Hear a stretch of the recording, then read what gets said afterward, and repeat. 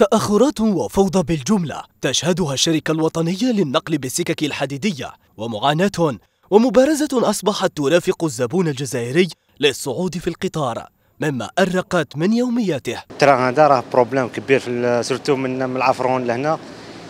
آه مانيش عارف أنا شغل الرايات مكان ال train ديما retard في النهار صباح عشيه ديما روطار ديما. اعتداءات وسرقة ونقص في المراقبة داخل القطار. جعل المواطن الجزائري يعيش الرعب داخله.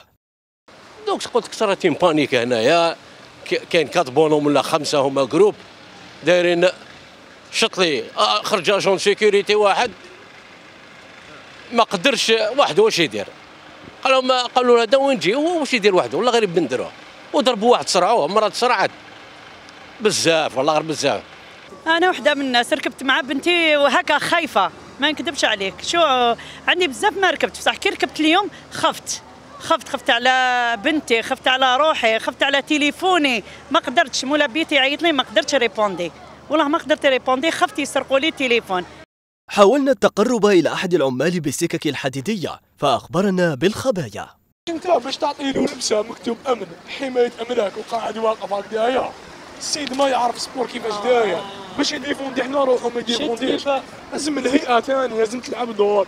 لازم الشركة توقف معاك. لافوكا لافوكا تاع الشركة. لافوكا تاع الشركة.